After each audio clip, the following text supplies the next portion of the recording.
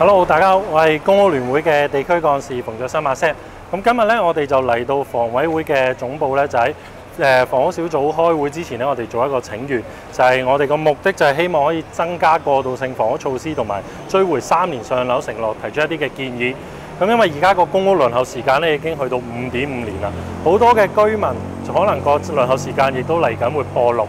輪候時間越嚟越高，代表而家誒排緊公屋嘅居民佢哋所受嘅租金壓力，佢哋個房屋住屋壓力就會越嚟越大。咁我哋希望房署可以有更多嘅措施去追回呢啲三年上樓承諾，舒緩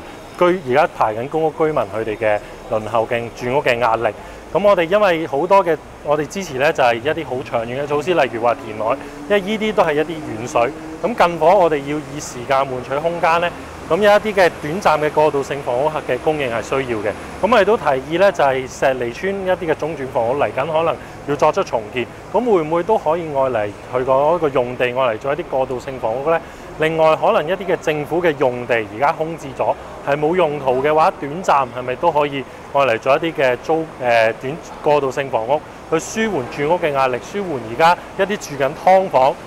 承受好大租金壓力嘅居民，亦都可以喺佢哋排緊公屋嘅時候舒緩或者改善佢哋個居住嘅環境。咁另外咧，除咗有個增加過渡性房屋咧，我哋都希望政府一路長遠，我哋都有建議嘅就係增加一啲就係租金嘅津貼，係令到佢哋排緊公屋嘅居民咧，例如已經排咗三年嘅居民，可以有一啲嘅租金津貼俾佢哋，亦都可以舒緩佢哋愛嚟佢哋舒緩佢哋嘅租金嘅壓力。咁我哋希望房屋房委會嘅開會嘅時候，可以委員咧可以能夠有更多嘅措施、更多嘅方案去解決而家住緊公屋或者排緊公屋嘅一啲嘅居民